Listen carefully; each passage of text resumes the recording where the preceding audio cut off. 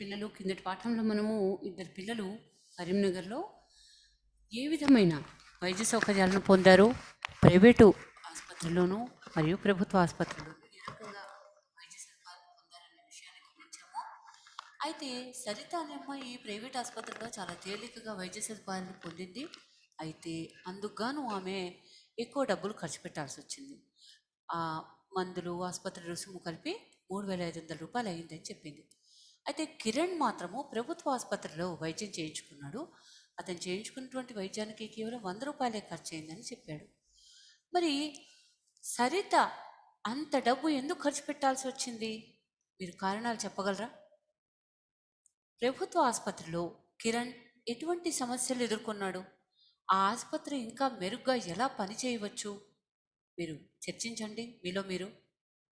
Private ఆసుపత్రుల్లో ఎటువంటి సమస్యలు ఎదుర్కొంటాము? ప్రభుత్వ ఆసుపత్రిలో గంటలు గంటలు నిలబడాల్సి వచ్చింది. మళ్ళీ మర్నాడు రావాల్సి వచ్చింది రిపోర్టు కోసము. మరియు ఇలాంటి సదుపాయాలన్నీ ఇలాంటి కష్టాలన్నీ కూడా ఎదుర్కొన్నాడు కిరణ్. అయితే ప్రభుత్వ ఆసుపత్రిలో ఉన్నటువంటి సమస్యలు లాంటివి ప్రైవేట్ ఆసుపత్రుల్లో కూడా ఉంటాయా? లేదా వేరే రకమైన అవస్థలు ఉంటాయా? అయితే ఇటువంటివన్నీ కూడా మీరు తరగతిలో చర్చించవచ్చు. మీరు జబ్బు చేసినప్పుడు మీరు ఎక్కడికి వెళ్తారు? ప్రభుత్వ ప్రభుత్వ ఆసుపత్రికి వెళ్తారా? ప్రైవేట్ హాస్పిటల్కి వెళ్తారా? మరి మీరు ఎదుర్కొనే సమస్యలు ఏమన్నా ఉన్నాయా? మీరు ఎట్లాంటి సమస్యలు ఎదుర్కొంటున్నారు? మీ అనుభవం ఆధారంగా మీరు ఒక పారాగ్రాఫ్ రాయండి. పారాగ్రాఫ్ ఎందుకు రాయాలి అంటే మనకు వచ్చినటువంటి సమస్య ఇంకెవరికైనా వచ్చినట్టయితే వారి సమస్యను మనం తీర్చేందుకు మనకు ముందర అనుభవం ఉండాలి. అనుభవం ఉండాలి. దాని నుంచి మనం కొంత నేర్చుకోవాలి. ఆ నేర్చుకున్న తర్వాత సమస్యను సాధించేటటువంటి పరిజ్ఞానము విజ్ఞానము మన దగ్గర ఉండాలి. తెలివితేటలు అవన్నీ కూడా ఉండి తీరాలి. ఉండాలంటే మనము ఈ రకంగా సాధన చేయాల్సి ఉంటుంది. అయితే ఇప్పుడు ఇచ్చినటువంటి ఈ ఇంతకుముందు వీడియోలో చెప్పినటువంటి కథ ప్రకారము అంటే కథనం ప్రకారము మనము ప్రభుత్వ అది ఆరోగ్య సదుపాయాలు. ప్రజలు పొందేటటువంటి ఆరోగ్య సదుపాయాలను రెండు రకాలుగా చెప్పచ్చు. ప్రజా ఆరోగ్య సేవలు ప్రైవేట్ ఆరోగ్య సేవలు అంటూ ప్రధానంగా రెండుగా విభజించవచ్చు. అయితే ప్రజా ఆరోగ్య సేవలు అంటే ఏంటి? ప్రైవేట్ ఆరోగ్య సేవలు అంటే మీకు అర్థమయ్యే ఉంటుంది. ప్రైవేట్ పెద్ద హాస్పిటళ్ళలో ఇచ్చేటటువంటి వైద్యాన్ని మనం ఆ విధంగా చెప్తుంటాం. అయితే ప్రజా ఆరోగ్య సేవలు అంటే ఆరోగ్య కేంద్రాలు ఆస్ప ఆసుపత్రులతో కూడిన ప్రజా ఆరోగ్య సేవలను ప్రభుత్వం నిర్వహిస్తుంది. గ్రామీణ పట్టణ ప్రాంతాల్లో సాధారణ జబ్బుల నుంచి అన్ని రకాల సమస్యలకు అందరికీ ప్రత్యేక సేవలను ప్రభుత్వం అందిస్తుంది. గ్రామ స్థాయిలో ఒక ఆశ ఆశ అంటే తెలుగులో ఆశ అని కాదు. A S H A accredited social health activist. ఇట్లాంటి ఆశా కార్యకర్తలు ఉంటారు ప్రతి గ్రామ స్థాయిలోనూ. ప్రజలకు వైద్య సదుపాయాలు అందించడంలో అతడు లేదా ఆమె సహాయం చేస్తారు.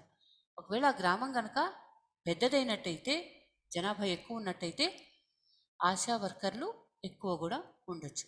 ఒకరే ఉండకుండా. గ్రామంలోని అంగన్వాడీ కేంద్రంలో వారి వైద్యం ఏంటంటే వాళ్ళ వాళ్ళ వాళ్ళు చేసేటటువంటి సేవలు ఏంటంటే గ్రామంలోని అంగన్వాడీ కేంద్రంలో చిన్నపిల్లలకు పోషకాహారంతో పాటు టీకాలు కూడా అందిస్తారు. పిల్లల బరువు చూస్తూ వయసుకు తగిన బరువుతో వాళ్ళు పెరుగుతున్నారా లేదా అనే విషయం చూస్తారు. ఒక ఉపకేంద్రం కింద అంటే పిహెచ్సి అంటున్నాం కదా మనము. ప్రైమరీ హెల్త్ సెంటర్కి కింద సబ్ హెల్త్ సెంటర్ ఒకటి ఉంటుంది. అలాంటి సబ్ హెల్త్ సెంటర్లో ఉపకేంద్రం అంటారు. దాన్ని దాని కింద ఐదు వేల మంది ప్రజలకు వైద్యం అందించడం జరుగుతుంది.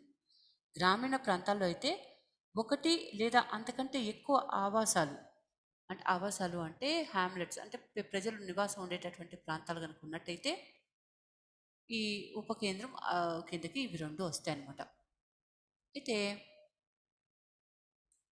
ఈ కేంద్రంలో బహుళ ఉద్దేశ్య ఆరోగ్య సహాయకులు మల్టీపర్పస్ హెల్త్ అసిస్టెంట్లు ఎంపీహెచ్ఏలు ఉంటారు.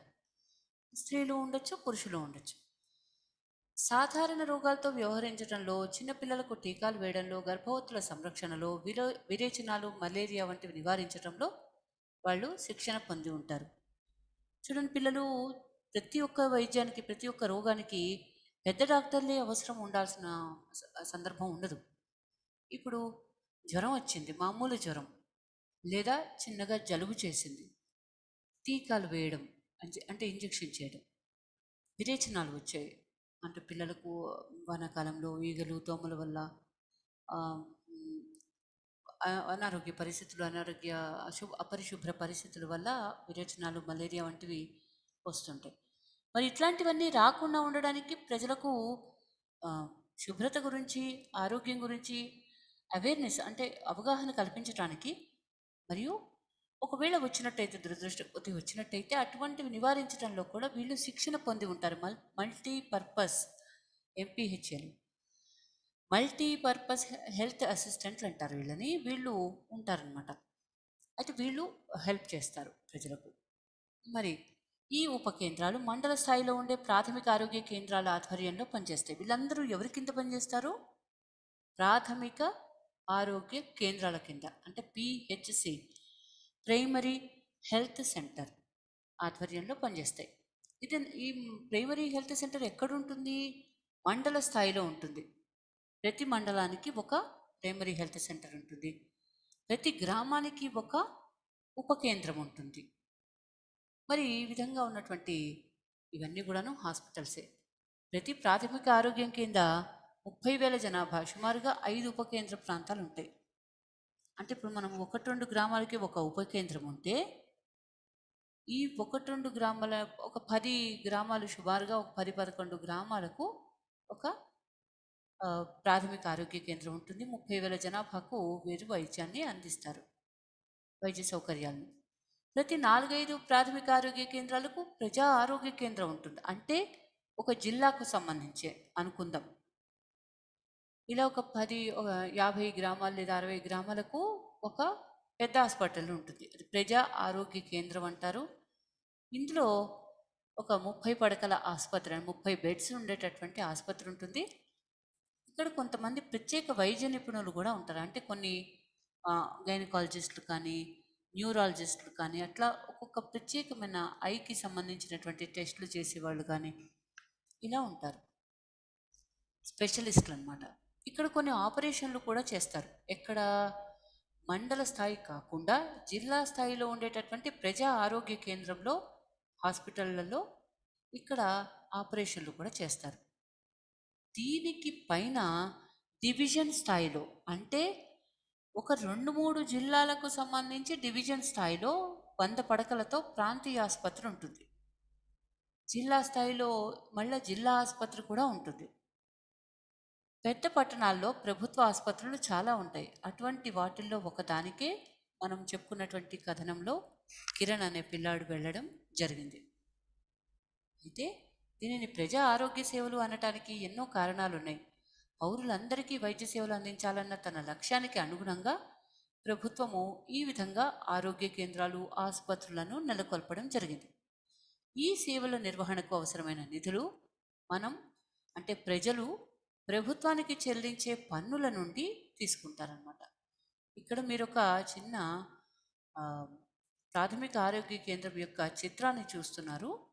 ఈ విధంగా హాస్పిటల్లో మీకు వైద్యాన్ని అందించడం జరుగుతుంది. ప్రభుత్వ రంగంలో వైద్య సదుపాయాల గురించి మనం ఇప్పుడు చూసాము. మిగిలిన పాఠము తర్వాతి వీడియోలో చూద్దాం.